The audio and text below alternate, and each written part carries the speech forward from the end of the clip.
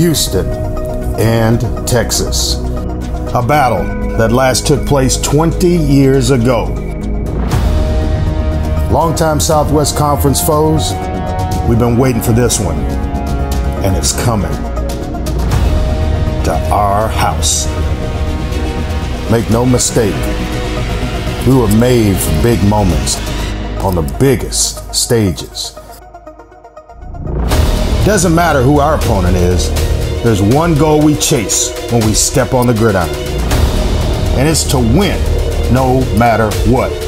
Take pride in your team, take pride in your school, take pride in your city. It's what being a Cougar is all about.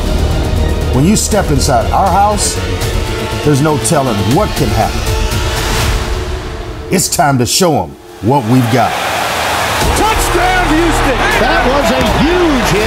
There at the 30, gets away at the 35, now running after left. Matthew Golden to the 30, to the 20, touchdown Cougars! First down, and he is picked. Isaiah Hamilton. Green was wrapped up that time. Beautiful work. PO action,